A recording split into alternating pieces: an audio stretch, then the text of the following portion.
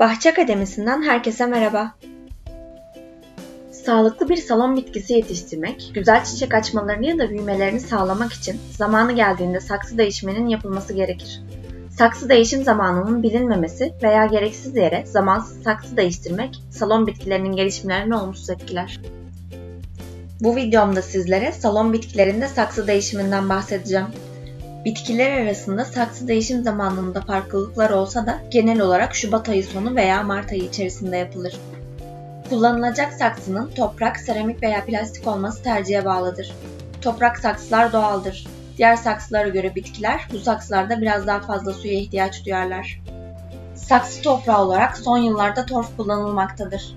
Torf bitki besin elementleri bakımından fakirdir. Bu yüzden tek başına kullanılmamalıdır. Çiçekçilerde ya da çiçek satışı yapılan yerlerde hazır paketler halinde çiçek toprağı satışa sunulmaktadır. Salon bitkileri saksı içerisinde bulunan topraktan besin alarak büyürler.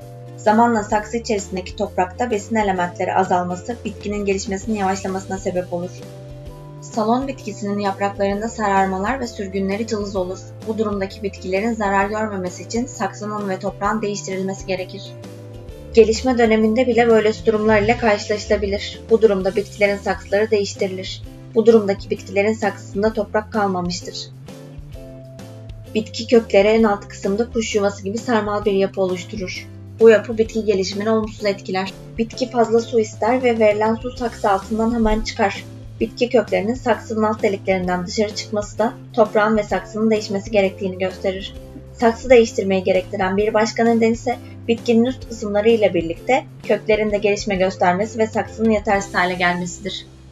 Hastalıklı bitkilerin yıl içerisinde her zaman bakımları yapılarak saksıları değiştirilebilir. Hastalıklı kökler ile kurumuş yapraklar saksı değişim esnasında bitkiden budanarak uzaklaştırılmalıdır. Saksı değişim aşamaları da şu şekildedir. Değişimde kullanılacak olan saksı eskisinden bir boy büyük olmalıdır. Çünkü bitkinin büyük saksılarda kök gelişimini tamamlaması uzun süre alır. Saksıların alt kısımları mutlaka delik olmalıdır. Toprak doldurulmadan önce saksının en alt kısmına taş veya toprak saksılarının kırık parçaları konulmalıdır. Bu sayede saksı içerisinde fazla su birikimi olmaz.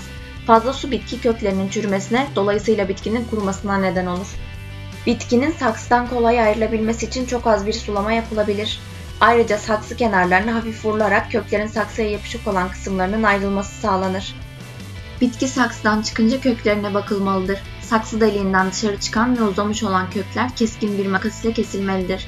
Eski toprak hafif ayıklanmalı veya silkelenmelidir. Bitkimiz yeni saksıya yerleştirilmeden önce saksı tabanına bir miktar karışım toprak konulur. Bitki saksısına yerleştirilir ve sulama payı olarak 2-3 santim boşluk bırakılır. Saksıya yerleştirilen bitkinin etrafı daha önce hazırlanmış olan karışım toprak ile doldurulur. Toprağa el ile hafif bastırılmalı ancak köklere zarar verilmemelidir. Saksı değişimi bittikten sonra toprak tümüyle nemli hale getirilmelidir. Daha sonra saksıya bitkinin ihtiyacı kadar su verilmelidir. Saksısı yeni değiştirilmiş bitkiler yarı veya hafif gölge yerlerde bir süre bekletildikten sonra esas yerlerine konulmalıdır. Ayrıca bitkilerin yeni kökleri oluşmadan önce yani 4 ila 6 hafta süreyle gübre verilmemelidir. Bahçe Akademisi kanalına abone olmayı, bildirimlerinizi açmayı unutmayın. Ayrıca her konuda bizlere sorularınızı yorumlar bölümünden iletebilirsiniz.